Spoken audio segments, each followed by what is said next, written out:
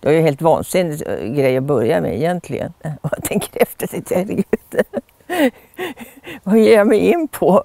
Jag tänker efter alltså. Men liksom det rullar på. Tack vare släktingar då.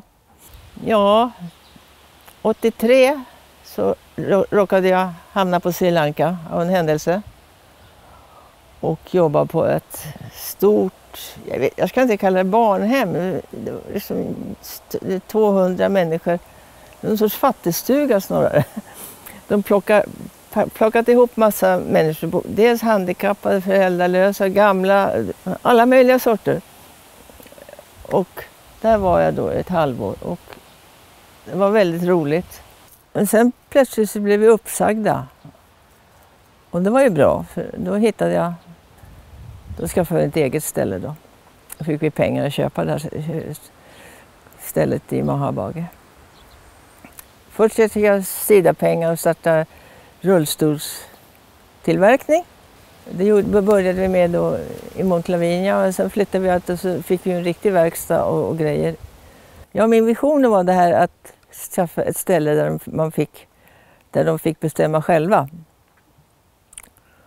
Och ta ansvar och, och, och så. Jag menar, först när de kom, de här ungdomarna, de var ju ungdom, unga, de var ju liksom helt liksom helt bort, avkopplade. De var ju vana att bli serverade mat och ta hand om och, och sådär. Sen har de verkligen vuxit och blivit jätteduktiga, ansvarskännande och förståndiga på alla möjliga sätt. Men de, de, de är verkligen enastående, de här ungdomarna. Eller nu är de inte ungdomar, de är medelålders nu. Faktiskt. För mig är det ju liksom mina barn fortfarande. Ja men styrkorna är ju, de har ju, det är ju fantastiska människor. Eh, de har ju eh, fått kämpa jättemycket under alla år. De har ju liksom en förmåga att, eh, att klara av stora hinder. Till exempel det här med barnen.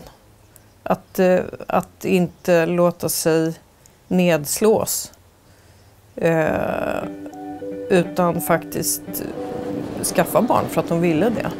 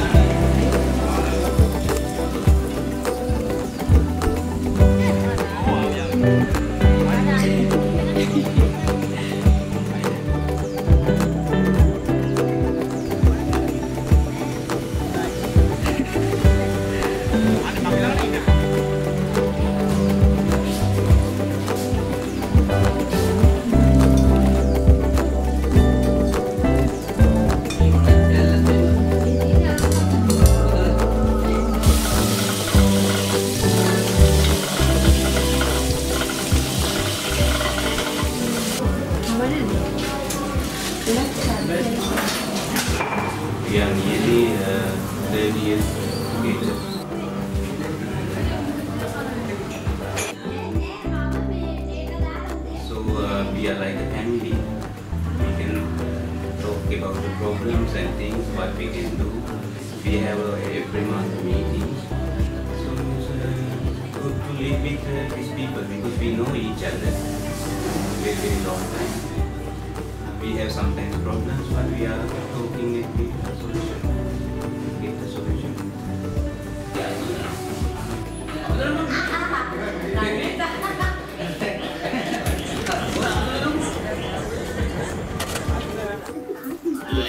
Glaston Dikau, 59 years old.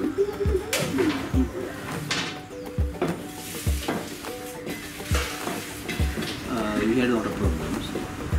Main thing in Sri Lanka was difficult to go by bus. To go to a shop, only some shops you can go, motor shop you can't go. By bus we can't go. We want someone to help us to carry us. That's the problem that we have in Sri Lanka. other side.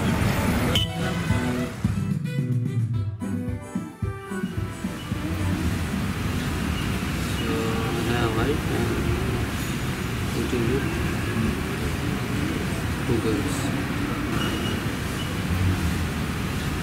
they are always obstacle disabled respects from society. Normal people. Not able people. They have feeling that uh, disables are useless, they can't do anything, they have to do.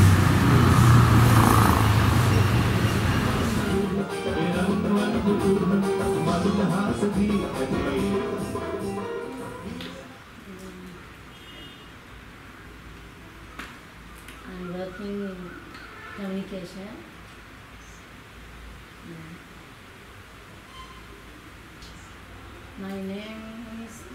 Pereira, age 49. Mm, We have my, one son. I'm married. Sometimes business is not good, but it's little bit pro- problem. And uh, my son is uh, athletic, little bit problem sometimes, money problem.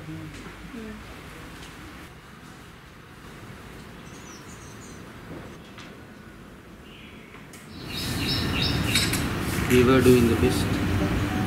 But we were famous in that too.